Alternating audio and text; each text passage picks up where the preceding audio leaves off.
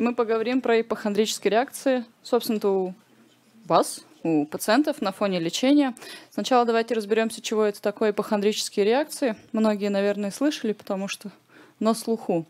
Итак, э, ипохондрические реакции или человек-ипохондрик, человек, который очень сосредоточен на своем физическом комфорте, дискомфорте и при возникновении каких-либо э, симптомов в теле э, начинает, собственно, фантазировать про то, что а не является ли это сейчас осложнением моего онкологического заболевания или метастазированием, да, или еще хуже, кто-то где-то чего-то пропустил. То есть добавляется мнительность, э, нарастает тревога, и, как правило, э, вот такие, такое фантазирование приводит к какой-либо разрядке. То есть, например, э, пациент может бежать к доктору или звонить доктору, и уточнять, задавать разные вопросы, либо бежать на обследование, либо, э, что хуже всего, лезть в интернет, обращаться к доктору Гуглу и спрашивать, а что это такие у меня за симптомы, что, соответственно, только напряжение увеличивает.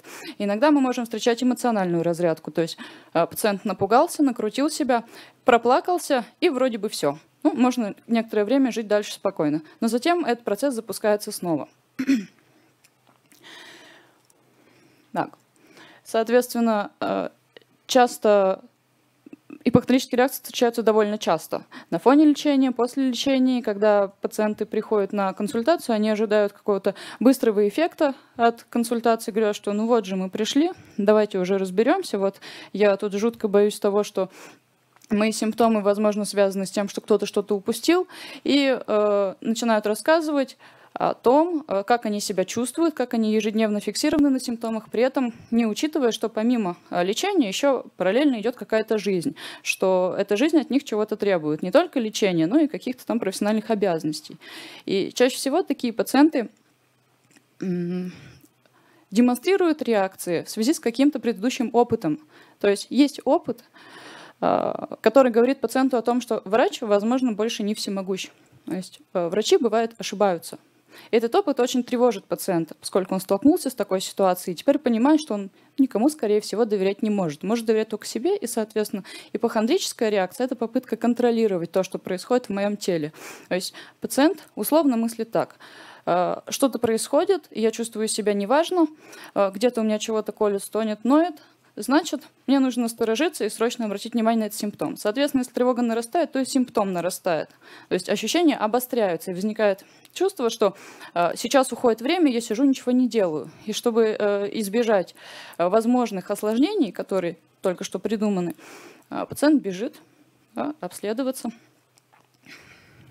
Итак, ипохондрические реакции встречаются не только у онкологических пациентов, но э, в онкологии они имеют свои особенности – они связаны, как уже было сказано, с ощущением потери контроля, э, с дискомфортом со стороны различных систем органов, поскольку на фоне лечения все ощущения телесные меняются. То есть э, мы привыкаем к своему телу на протяжении многих лет, и вот происходит лечение, и это лечение как-то меняет организм. И организм по-разному начинает на все реагировать. Это незнакомо. А все, что незнакомо, все тревожно.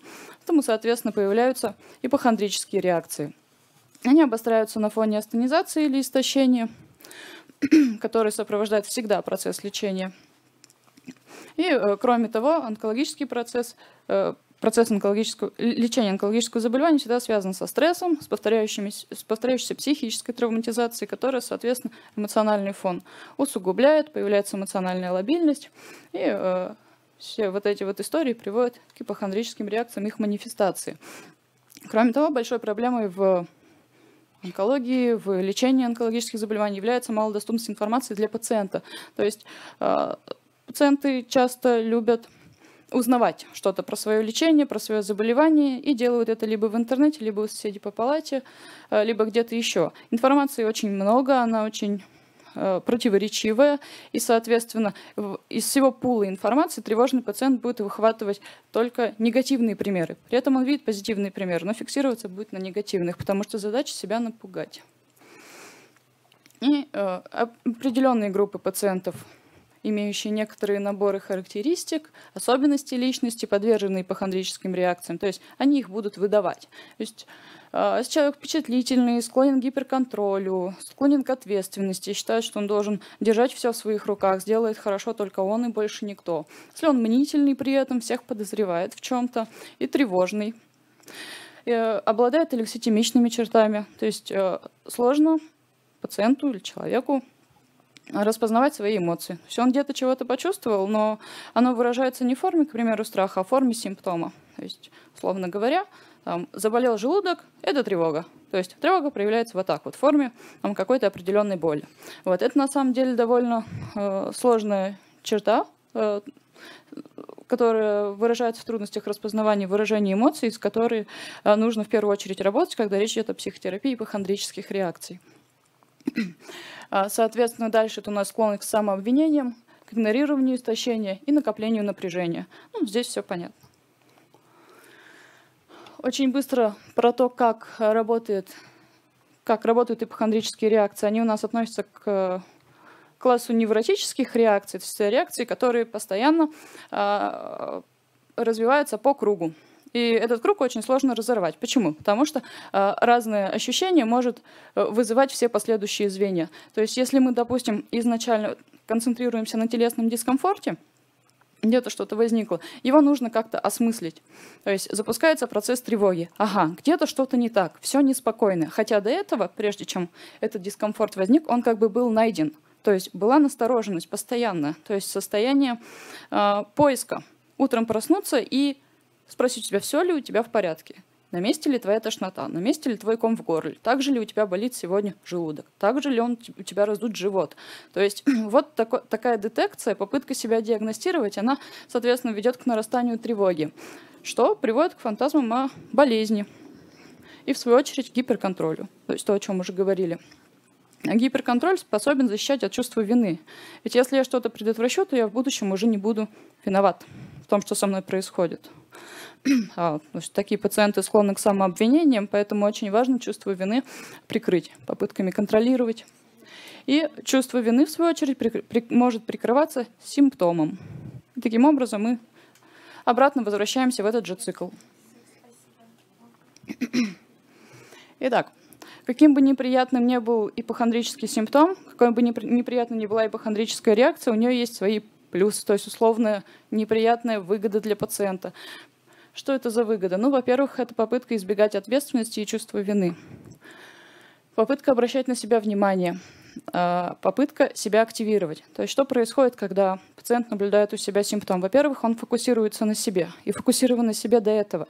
И, вероятно, до заболевания ему было крайне сложно это сделать а, в рамках, предположим, какой-то заботы о себе. То есть обратить на себя внимание можно только в каких-то стрессовых, острых ситуациях, жизнеугрожающих ситуациях, когда вот теперь точно можно о себе заботиться. Вот до этого никогда нельзя было, а сейчас вот можно о себе заботиться. И это происходит в такой, ну, несколько садистической манере, потому что эта забота заставляет человека двигаться в отношении гипердиагностики или в отношении ухудшений а, отношений с лечащим врачом. И э, в чем, собственно-то, здесь э, избегание ответственности? А в том, что э, у меня есть симптом, я могу думать только о нем. И я могу транслировать окружающим информацию о своем симптоме, они тогда тоже будут думать о нем. И таким образом какие-то привычные социальные функции, которые я должен выполнять, но у меня, например, на них нет сил, нет времени, да, или я просто не хочу, а ведь не хотеть-то нельзя. Есть же чувство вины и чувство долга, которое говорит, ты должен. И вот на месте всего вот этого вот сложного переживания появляется симптом. Вот он так падает с утра, или в стрессовой ситуации возникает, отвлекает на себя внимание. И здорово можно переместиться вот в область болезни. Соответственно, негативное влияние, но оно очевидно. То есть э, на фоне постоянной тревоги, фиксированности на себе возникает истощение, нарушается сон, нарушается аппетит, если еще до этого он не был нарушен. Снижается социальное ролевое функционирование, контроль над эмоциональными реакциями. И, э, что хуже всего, э, нарушается отношение с лечащим врачом и с окружающими. То есть снижается доверие врача к жалобам пациента. И некоторые жалобы врачи уже могут упускать. Они говорят, ну, это ты ипохондрик. Что, что, что ж тебе это тут? Опять жалуешься. Вот.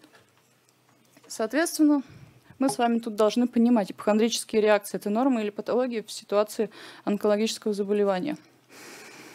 Тут неоднозначный ответ. А, между ипохондрическими реакциями, которые возникают, и они ситуативны, и ипохондрическим расстройством, которое стабильно проявляет себя, а, разница небольшая. То есть в основном она связана с длительностью. То есть реакции возникают в определенных ситуациях, длятся и затем разряжаются. И больше не появляются какое-то время. Потом возникают вновь. Ну и так некоторое время. В случае с ипохондрическим расстройством уход в болезнь и думание о симптоме постоянно – то есть постоянно, утром, днем, вечером, вне зависимости от стрессовых ситуаций, вне зависимости от напряжения и расслабления. Оно есть всегда. И в случае, если мы наблюдаем у себя ипохондрические реакции, речь будет идти э, в основном только о психотерапии или психокоррекции, то есть консультации клинического психолога. Если же мы имеем дело уже с расстройством, то это э, психотерапия и фармакотерапия, то есть прием психотропных препаратов, наблюдение у врача-психотерапевта. Э, кто же наиболее всего подвержен ипохондрическим реакциям? Ну, э, тут отмечено, что у пациентов с лимфопролиферативными заболеваниями алекситимия выражена ярче. То есть им сложнее всего распознавать свои эмоции, их называть и выражать. Выражать очень сложно, потому что не распознано. Нечего выражать, как будто бы ничего нет. Я спокоен, я нормально отношусь к лечению, к болезни, меня ничего не беспокоит, а у, а у самого симптомы. Э, на втором месте у нас женщины с злокачественным образованием молочной железы и э, женской репродуктивной системой. Это пожар. Огонь. Учебный. Итак. Нет, вроде все в порядке. Но я считаю, доклад надо дослушать, а потом бежать. Да, да, потом гореть. Так обычно делаем. Да, куда мы со школы-то? Дождемся звонка, коллеги.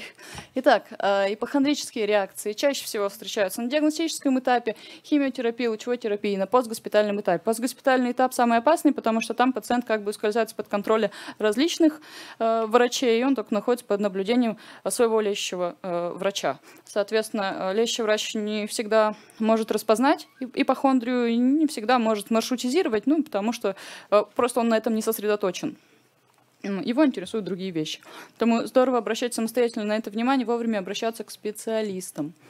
И э, хочется говорить о том, что э, при ипохондрических реакциях, да и при многих других реакциях, э, психотерапия или психокоррекция – это довольно длительный процесс. То есть это не одноразовая консультация, не двухразовая. Нужно потратить около трех, двух-трех месяцев в режиме один раз в неделю, часовая консультация – с клиническим психологом. Для чего это? Для того, чтобы был эффект, для того, чтобы э, при следующих стрессовых ситуациях, потому что жизнь-то динамичная, не будет же так, что вот я однажды справился с тревогой и навсегда. Ну так не будет. Все люди будут тревожиться. Каждый пациент будет тревожиться, который ходил на психотерапию, который не ходил на психотерапию. Но тот, который ходил, он, по крайней мере, будет способен справляться в дальнейшем со своей тревогой, без симптома, без ухода в болезнь, без э, накручивания и астенизации своего состояния. Вот, поэтому это я для чего говорю? Для того, чтобы понимать, что психокоррекционная работа – это работа. И здесь большая часть ответственности возлагается на пациента и на его желание разобраться с тем, что с ним происходит, разобраться с его симптомом. То есть э, первым делом важно понимать, что я иду разбираться со своей реакцией, за, за ней что-то стоит. Что разные сложные, неприятные вещи, вроде чувства вины и чувства стыда. Но тем не менее, какие-то э, самостоятельные необходимые меры можно начинать применять. Однако я могу сказать, что это сделать довольно сложно и не всегда эффективно, потому что нужно постоянно себя удерживать на э, на границе вот э, между реакцией и оттормаживанием этой реакции. То есть всегда заманчиво затревожиться и что-то начать с этим делать. То есть, а вот, э, к примеру, отказаться от э, самоинформирования в тот момент, когда вот эта пустота информационная гложет, и когда она тревожит, нависает, очень хочется. Очень хочется залезть, спросить у некомпетентных, у тех, кто простым, подробным языком скажет, что да, рак можно лечить содой, это эффективнее. Вот. Поэтому э, рекомендуют э, все рекомендуют отказываться от некорректного самоинформирования и от некорректной самодиагностики. Вы не МРТ-аппарат сами себе. Поэтому э, лучше всего формировать список вопросов, обращаться к доктору. Обращаться к доктору столько раз, сколько у вас возникает вопрос. Даже если доктор будет недоволен, даже если он будет говорить, что у вас нет времени, он вам все равно как-то ответит. А доктор отвечает за свои слова. Доктор э, обучался этим вещам, он знает и понимает вас. То есть вы его пациент. В интернете вы ничей пациент.